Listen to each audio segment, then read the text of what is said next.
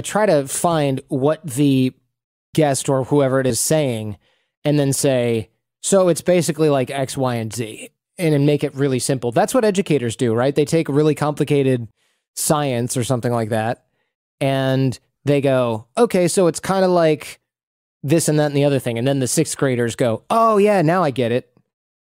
And that's what you want to do when you're trying to tell people a concept that normally takes 13 hours of a book to illustrate. I want to do it in like a few minutes. Explain this. Wow, that's really complex. Is it like this and this? You use an analogy like I did with the jigsaw puzzle. And I'm saying, look, the audience just wants to see the picture and they don't have the box. All they have are 10,000 pieces laying around. So I put the puzzle together. That's my prep. And then when I come to the interview, I'm just slowly unveiling the finished product, which is what was normally on the front of the box.